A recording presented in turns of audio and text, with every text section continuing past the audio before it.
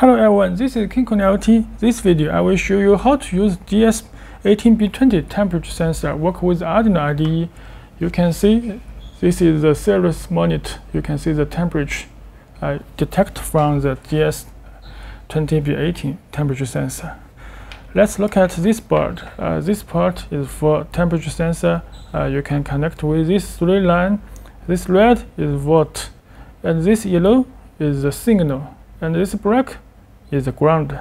So now I have only connect with one sensor. If you have used more sensor, like two sensors, three sensors, or four sensor, just connect together is okay. Because every sensor have different address. Okay, now let's look at the Arduino IDE, the program for this temperature sensor. Before you use DS18B20 sensor, you need to install the library. That will be very easy to use this sensor. Just click the library manage and we can input.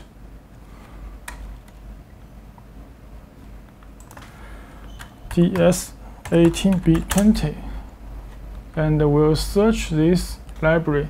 Just use this one. Uh, we have already installed uh, you just install online. And after you install you just click close. And then you will see the example and uh, find the DS18B you can see the multi we can click this this one and uh, we'll open this source code I have already opened. So the first uh, you just uh, to change this DS pin IO pin you can see this is our ESP32 module. Uh, this is for date uh, temperature. This is for 16 pin but this means IO 13. So we can just change the words because uh, default is 2 and I change to 13. Only change this and also you can change this delay time. This have every 10 seconds uh, refresh the date. We can let it quickly and uh, you can press the upload. Now we'll come play and download wait for a moment.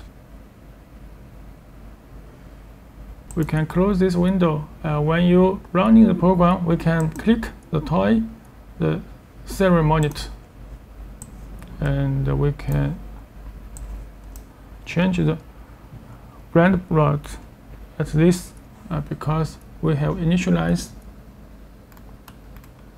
for this baud rate. Uh, so this needed to as thing Okay, now you can see this is the feedback. This is address. Uh, this is address is decimal format. Uh, this is for DS uh, 18B20 sensor. If you have another, this address will be different. And this is resolution, and this power external, and this is temperature uh, by unit C or by unit F. So this is 28 centigrade. I can use my hand wait for a moment. Now you can see the temperature is become high. It's 32. So this is for refresh time. Just uh, set by this delay time. I can let it quickly, like uh, 5000 and upload again.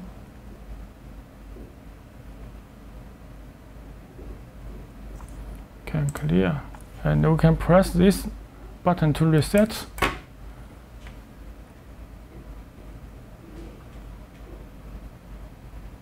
Now you can see uh, the value is feedback and about every 5 seconds will feedback. Uh, there will be faster than before. Okay it's up. So let's look at the code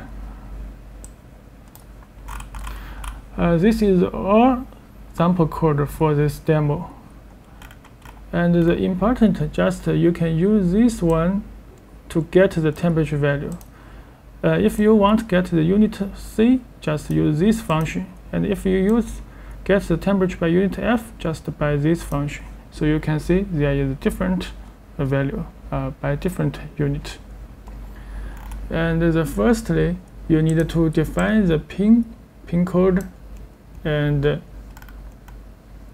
just to read the temperature is okay? So the value will be displayed. So you can use this value for compare like for alarm message for input sensor check the relay output just compare with this value is okay?